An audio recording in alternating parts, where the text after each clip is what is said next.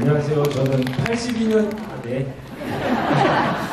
네, 저는 82년생 김지영의 프로듀서 모일령입니다. 어, 오늘 많이 찾아주셨는데요. 저희가 또 보답, 보답하고자 저희 김도영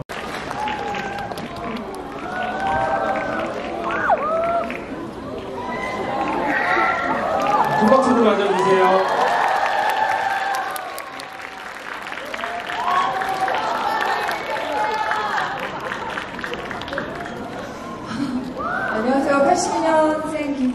연출한 김도영입니다. 영화 재밌게 보셨나요? 네. 너무 감사드립니다. 계속해서 응원 부탁드릴게요. 고맙습니다. 네, 안녕하세요. 정민입니다. 사람도 많고. 영화 재밌게 보셨나요?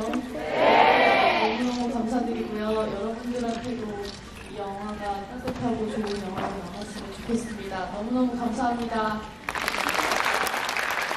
안녕하세요. 지영이 엄마 미술력의 김지영. 와,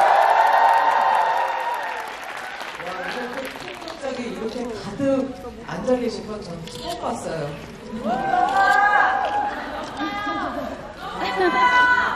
고맙습니다. 다해서 만든 영화가 이 이야기가 잘 전달이 됐으면 좋겠습니다. 잘 보셨죠? 네. 고맙습니다. 저는 어,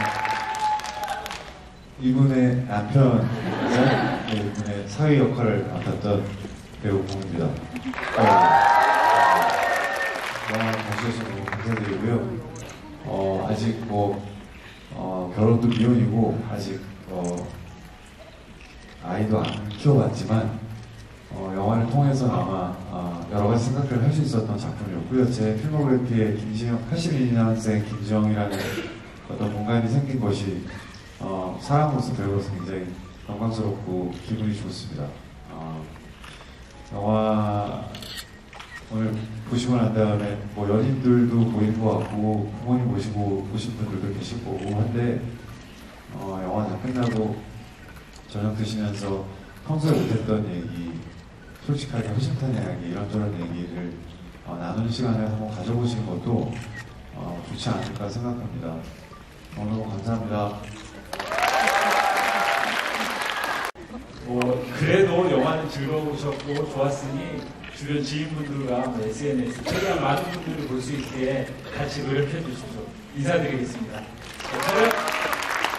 인사.